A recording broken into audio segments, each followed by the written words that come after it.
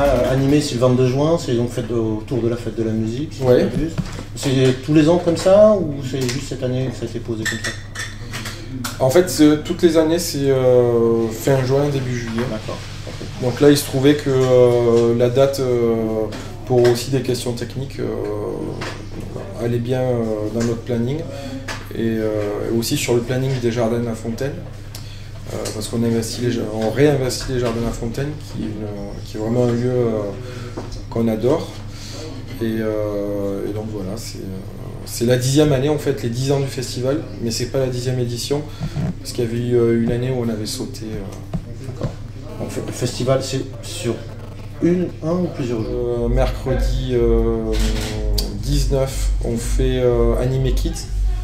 Donc c'est une session euh, pour les enfants avec des euh, ateliers de mix euh, et, puis, plein d'animations pour, les enfants, des, mix sur iPad, mix sur CD, sur vinyle, aussi du circuit bending.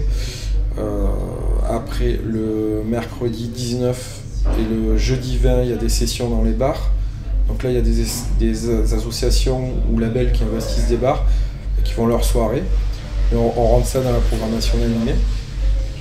Le vendredi 21, on intervient, on fait un showcase animé sur un, spot euh, de la fête de la musique en centre-ville aussi.